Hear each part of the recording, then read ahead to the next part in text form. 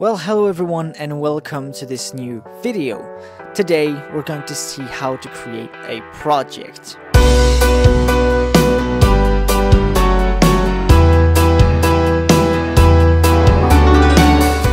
So here you can see I'm on the platform and you will find a big blue button saying create a project. It is possible that this button is going to be gray for some of you. That does mean that you do not have the necessary permissions to actually create a project. If that is the case, please request to one of your administrator to be upgraded to at least being project manager within the account. This button can also be found on the projects page at the very top. To create a project, just simply click on it. You'll see that this menu will appear. Just select the project's name. Here I'm going to go my project if you're part of multiple companies, you can actually select in which you want to actually create the project. In my case, I'll leave ATIS. Down below, you'll find a map that you can switch between map with the terrain or not, and the satellite. That is just a Google map, as you probably all know how to deal with. You can directly search for a place if you want to, and by just clicking, you'll be able to add a new point. This is going to be the position of your projects, so that means that then you can search by the project either by the name or directly on the map. Down below, you'll find some advanced options. As of now, we only have the projection. I'll not bother you with that too long, but basically the idea is you can actually see the Google map below your project when you're inside of the viewer there's another video dedicated to understanding actually exactly how this works. Once you're happy with everything, you can just click create. The project has been created and we have been taken to this page.